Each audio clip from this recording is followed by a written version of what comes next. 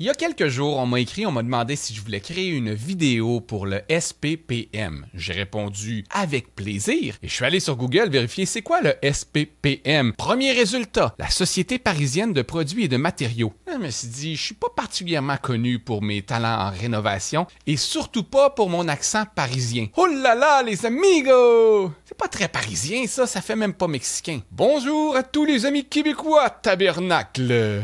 Deuxième résultat, le syndicat des professionnels de la Montérégie. Ah, là j'ai compris. La vérité, c'est que je suis voisin de votre président. Et l'année dernière, j'ai fait des travaux dans ma cour et j'ai accroché son pommier. Je sais, je suis pas reconnu pour mes talents en rénovation. En gros, j'en devais une. Mais je suis quand même heureux que ce soit arrivé de ce côté-là de ma maison, parce que de l'autre côté de ma cour, ma voisine, c'est la propriétaire du 281. Je me serais pas vu faire une vidéo d'encouragement pour ses employés à elle. Et là là.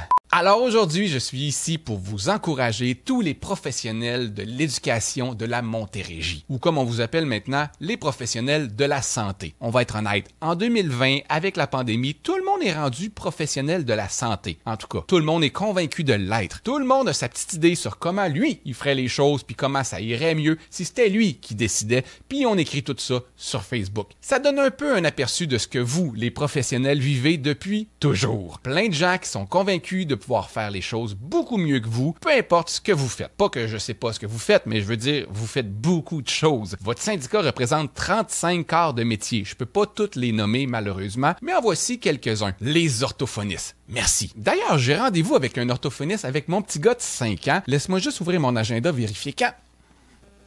Le 5 décembre 2027. Oh, qu'on a hâte de savoir s'il nous écoute pas parce qu'il y a un problème d'oreille ou parce qu'il est rendu un adolescent les services administratifs, les ingénieurs, les architectes, les agents de gestion financière. Ça, c'est le monde qui, depuis une semaine, réagissent en disant Quoi? Laisser les fenêtres ouvertes l'hiver pour aérer les écoles? 38 ans à me faire dire par mes parents Hey, on chauffe pas le dehors. Ben, c'est cette année qu'on commence. Avez-vous déjà réglé, vous, un problème en laissant les fenêtres ouvertes? Un expert qui vient vous voir qui dit On a une fuite de gaz dans votre maison.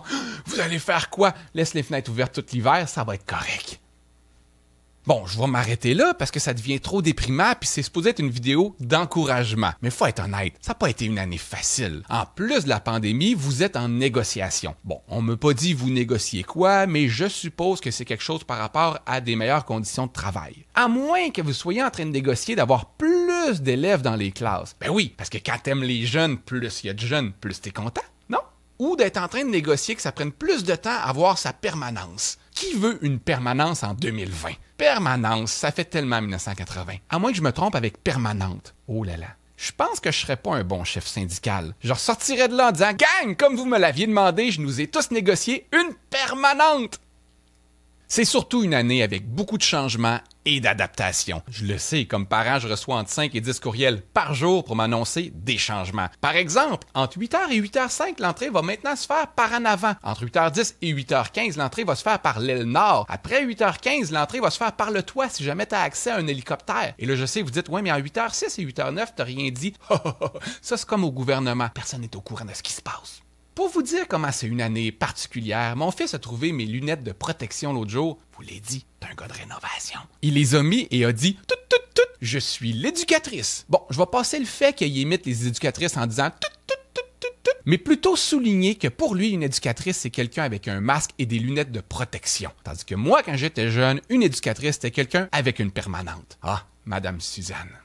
Mais si je peux apporter un peu de positif dans tout ça, sachez que jamais dans l'histoire on a autant été conscient d'avoir besoin de nos professionnels. Que vous soyez en contact direct avec les jeunes ou indirect, on le sait que vous faites du mieux que vous pouvez avec ce que vous avez, puis que vous souhaitez le bien-être de nos jeunes. On est reconnaissant. Là-dessus, je vais retourner sur Facebook, aller faire des statuts comme quoi, si moi j'étais au pouvoir, ça fonctionnerait pas mal mieux que ça. Par contre, je dois avouer que les fenêtres ouvertes l'hiver, oh, j'y avais pas pensé.